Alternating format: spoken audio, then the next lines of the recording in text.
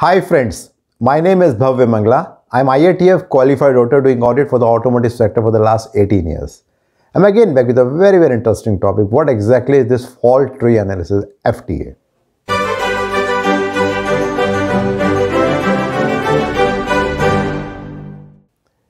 Well, in journal life, we are doing some root cause analysis every time. Say, for example, we are using a mobile and we find that uh, our messages are not going on WhatsApp. So we'll just try to find out is it some internet connectivity issue or maybe some storage issue because of that the message is not going fine or maybe the mobile is hung or something else. So we find out different reason and through that we try to find out what exactly is the root cause and then we take some action. Something similar is with FTA also which is also called fault tree analysis.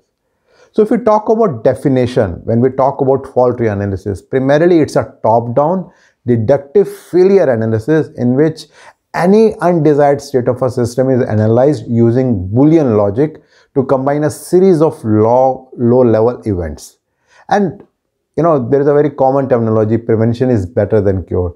So that is a key reason why we use uh, FT analysis. And when we talk about FTA, there are different steps, different uh, areas through which I'm going to tell you about that. So the different steps by which I'm going to tell you, it includes what exactly is FTA, why do we use FTA, what is the five steps in which we can do the analysis with respect to that, if uh, this FTA tool is actually relevant for me, how does it actually work, and what are the strengths of FTA and how we can compare it with the other things. So to talk a little bit about the history about FTA, it was first started in 1960s in America when it was used in the missile program.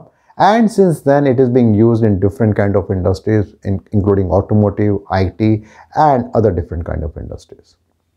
So let's start with the first particular thing that what exactly is FTA. So when we talk about FTA, primarily, as I said earlier, it's a common tool in which we use the different graphics and statistics to analyze an event and then predict that how and how often it will fail. And primarily it is used in engineering and business to aid the processes and the system development. Now it brings the next question that why do we use FTA? So again, there are three reasons with respect to that. The first one is that it is very easy to understand. Second, it is very an effective way uh, with respect to using a diagram problems in a system and then it helps the organization to understand the possible causes of the problems in a system. And when we do the FTA, there are five key steps that we need to use to analyze the problem and to find the actual root cause. So those five steps includes, first of all, it is to define and uh, understand the undesired event to study. Then second is to obtain an understanding of that particular system. The third one is to construct a fault tree and to understand that. The fourth one is to understand that uh, uh, what are the cases which are relating to that. So evaluate the fault tree. And the last one is we control the hazards which are being identified. So if we see through a logical diagram that what exactly the fault tree diagram is. So if you see, you know, we are talking about a problem and then there is a logic gate and with this logic gate, there can be say two possible causes for that. And if we take one cause further, uh, which we also call as intermediate event, and then if we bifurcate further, it can also lead to two more logic gates. And let's assume that we say that one is a basic event and another is an undeveloped event. So when we say basic event, the intent is that that is a final root cause which is creating that problem. And the other one may be a possible reason uh, which we don't want to go further into. If we take an easy example, let's assume that uh, there is any machine. It can be a mobile or a lathe machine or it could be anything. And there is a malfunction which is happening there. So that's a problem that we have defined there. Now, if we talk about the logic gate, there can be two possible things. One is a mechanical failure and the second is an electrical failure. Now, both of these can be considered as intermediate events. Now, let's bifurcate further the electrical failure. So, in electrical failure, if we go further, there can be assuming that two more possible failures that we call as the logic gate. So one is wiring harness issue and the second is the overload issue. So assume that we finalize that overload is actually causing the real problem and then we term that particular thing as a basic event and the other event of wiring harness we can call it as a undeveloped event. Now the next step is that how do a company decide that whether FTA is relevant for them or not. So there can be few questions the company can or maybe the employees can ask to themselves and that can help them to understand that whether FTA is actually relevant for them or not. So the first question is that if the company has the problem in their system or the process flow, if the system which is working under the worst case scenario, and the third one is do external forces affect the system or not? And if the answer of any of the question is yes, so it means FTA is actually relevant for that particular organization. So now the next step is how does FTA work? So there can be again three possible causes or three possible ways in which it can work for you. So first of all, it uses a variety of gates and events to explain the system. Then it uses a top-down approach to its logic. And then the end result is at the top of the tree and that leads to what are the possible results that can come. As I said earlier, there are different terminologies that are being used. So one of the very popular terminologies AND gate, A and D AND gate. And there is a specific symbol to that. So primarily this is one of the main gate that is being used and this output occurs only if both the events below occur simultaneously. So only then we can term it as the AND gate. The second one is OR gate. So when we talk about OR gate, this is the second main gate and it has a separate symbol with respect to that. So herein the output above will occur only if only one of the event is occurring. Only then we'll say that yes, it is an OR gate. And primarily there are three main events which happens in the fault tree analysis. The first one is primary event, then intermediate event and the third one is expanded event. To go further with respect to these three events, when we talk about primary event, so primarily it is talking about some made up of basic, undeveloped and external events. So it is again bifurcating into three different kind of events. And in that uh, it is talking about an event where the process system might fail.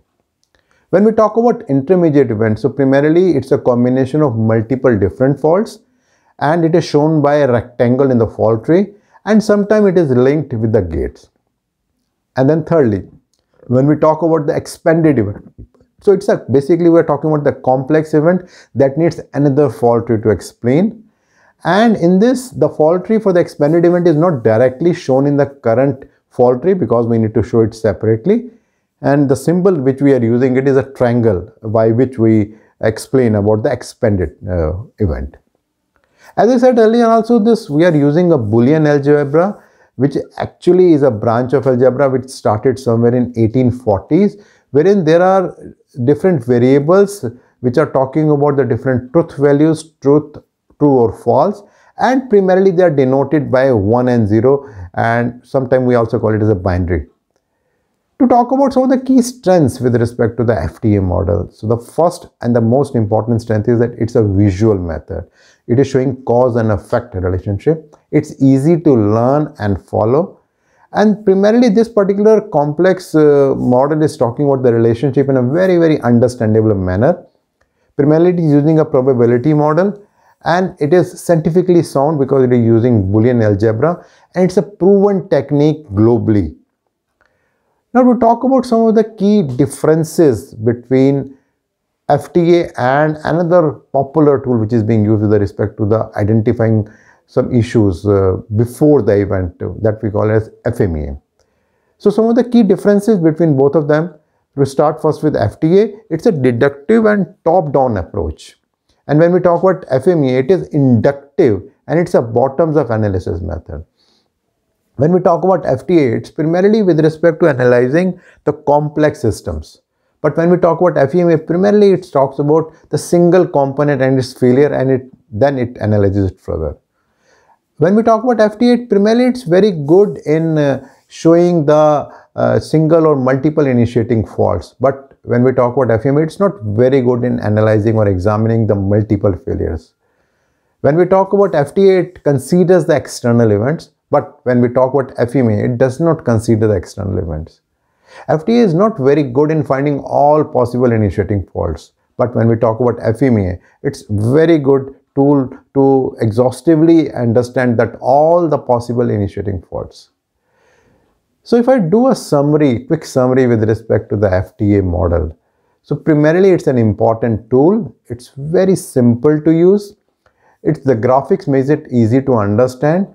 And in this each event is displayed by unique shape and it helps to prevent and correct the errors in the system.